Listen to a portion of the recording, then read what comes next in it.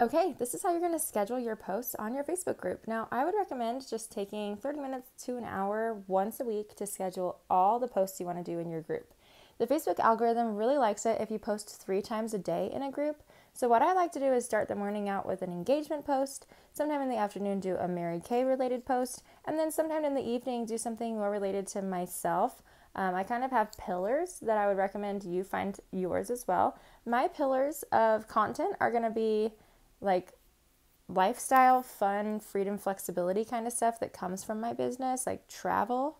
Um, then overall health, like I do recipes and workouts and things like that. And then, of course, Mary Kay itself, like the product. So, those are kind of my three pillars. So, pick things that would connect to you and that would be easy for you to talk about and choose those. So, I'm going to show you how to schedule a post. I'm just going to do one so you can see how to do it. And we're going to do an engagement post.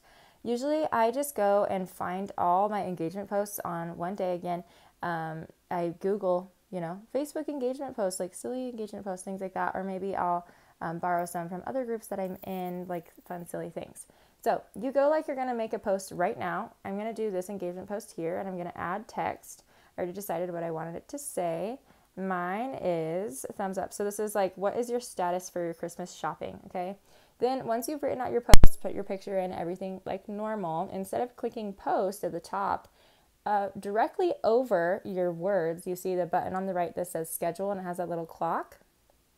You pick that and then you choose the day you want it to go out and the time. So let's say I want this to go tomorrow at 7:45 a.m.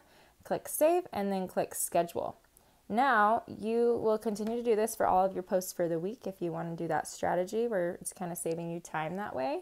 And then if you want to check your scheduled posts, you can click your little um, shield at the top right of your screen. And then it is actually in the little um, tools area, if you see at the top right next to the gear, there's a little tools spot. At the bottom, you'll see scheduled posts, and you can check out all the scheduled posts that you have already, and you can edit them here, change the time they're going to go out, all of that. So